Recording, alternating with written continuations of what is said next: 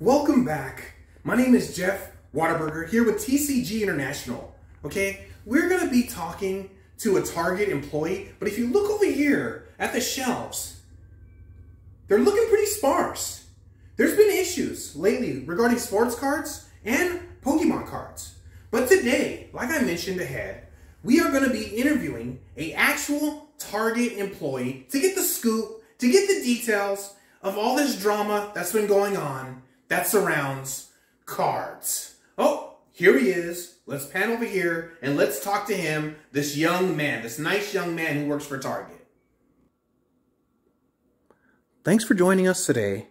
So tell me, first of all, there's been a rumor that you may have quit Target. Can you confirm or deny? Yeah, yeah, confirm, whatever.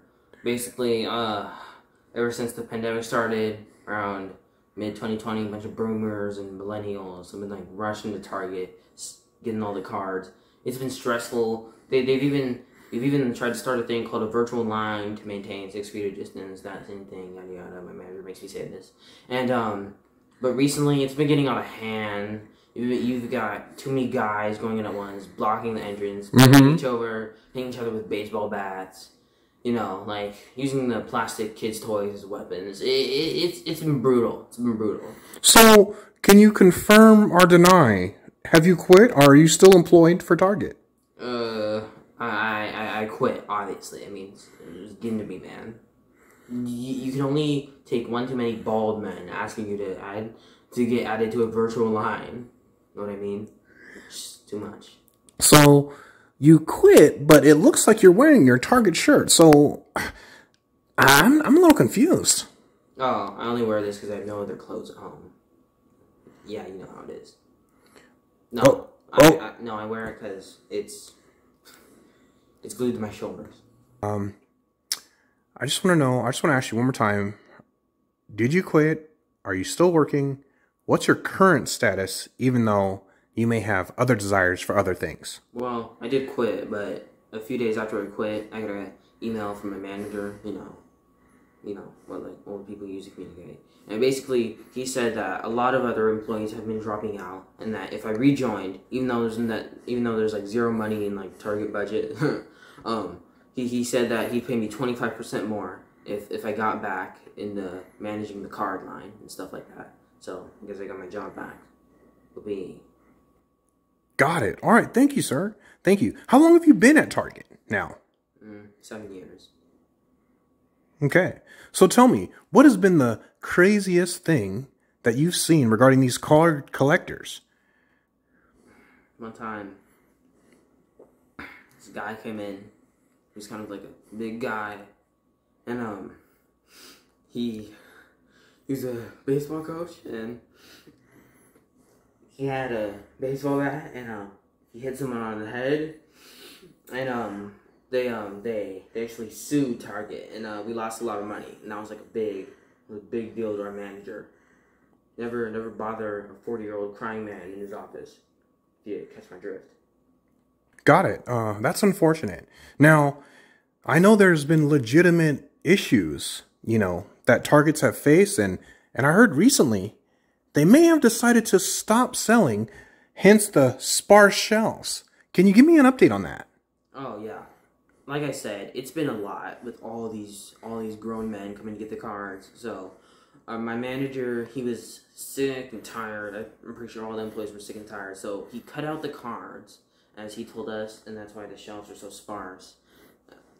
So we stopped selling cards, stopped selling Pokemon cards, and and that sounds like it would be it, but it's not.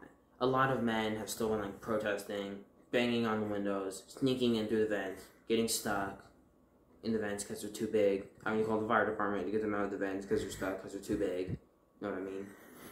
Yes, yes, understandable. So, what is your personal opinion regarding card collectors, or maybe as some people call them, flippers?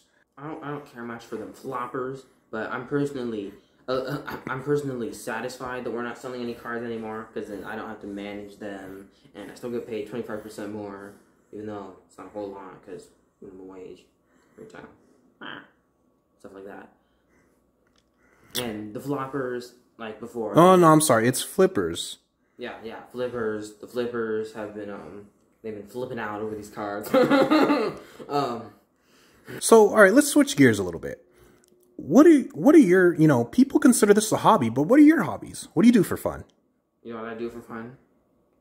No, I don't. That's why I just asked you the question. Swatting the flies, my apartment, scrubbing the mold uh, off the bottom of my kitchen. you know what else I do for fun? Uh, what? What? I, I clean up all the gunk out of my dishwasher. I scrub. I, I scrub my moldy my moldy sink with mm-hmm. with a tiny sponge. I go through many upon many bills. I, I can't watch TV because I didn't pay the rent. I didn't get enough money to pay the rent And because I only get paid minimum wage. Mm-hmm. Wage. Okay, okay. You know what? You know what? Calm down. Calm down. Everything's gonna be just fine. Okay, hand me the back of the microphone, please. All right. No, no, no. Just, just hand it back. Thank you. All right. You know what? I want to say thank you. I would just want to give you a little piece of advice. You know, I understand. You know, sometimes it's hard, and sometimes you have, you know, people who interrupt you, people who give you frustration, right? Yeah. But you have to be calm. Yeah, definitely. You have to be calm, okay? And you make sure you treat people fairly. Does that make sense? Yeah. All right, ladies and gentlemen, thank you very much for your time. Okay, guys, thank you. I hope you enjoyed that interview with the Target employee. And uh, uh, sorry, I'm trying to get a little bit of slack on my microphone. Okay, okay, cut, cut. Uh, hey, Steve, man, how many times I gotta tell you? Why is my microphone like this, man? Why, why are we even using? I mean, for real, why are we even using a wired microphone? We don't have microphones. We don't have wireless microphones, huh? Man, I'm docking your pay, man. I'm docking your pay. I ain't even playing around. Your vacation cancel. Jeff, Jeff, we're uh, we're we're still on the air. What? We're still rolling. Oh, oh, uh, sorry about that, ladies and gentlemen. There was a technical difficulty. Uh, we're gonna go and end our broadcast now. Thank you, and bye bye.